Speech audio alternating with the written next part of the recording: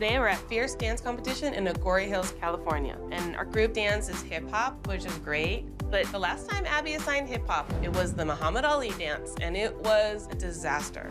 We desperately need this fifth win in a row. The whole thing could be a hot mess if it's not done right. Oh, good morning. Do you guys have bow envy? Is that in team solidarity this morning? We've been just trying to figure this out because it's just honestly, I'm just wondering why the bow. You know, if it was like maybe like a midlife crisis. Tweedledee and Tweedledum laid into her about her bow in her hair.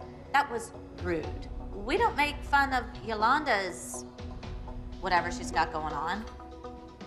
Kira kind of does, but and Kira kind of makes fun of the other one, of Stacy and her face. She was like, "But listen, we are who we are. Leave it alone." So, Jamie, are you not really feeling welcome by these two I at have this not point? felt welcome since I've been here, and I think these two have totally ganged up on me the entire time. When Brynn started, say that she did a duet or a trio, did they practice the night before? Did they get together and do any of that or no? Yes. Brynn was invited to all the rehearsals.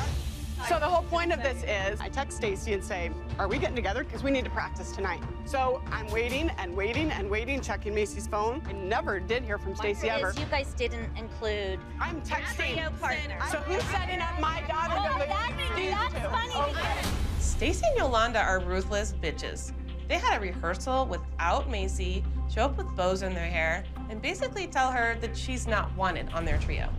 If her daughter's gonna be part of the mini team. We're not minis. That's the whole point. We're not minis. We're You're not, what things. are you? You're a bridger, you're a filler, you're in my mind you're a cavity right now. That's what I feel like. Without you, they're not like really anything because you're the bridge, and you really could come on this team and be just fine. Where their little ones can't just jump on here without having a bridge. Oh,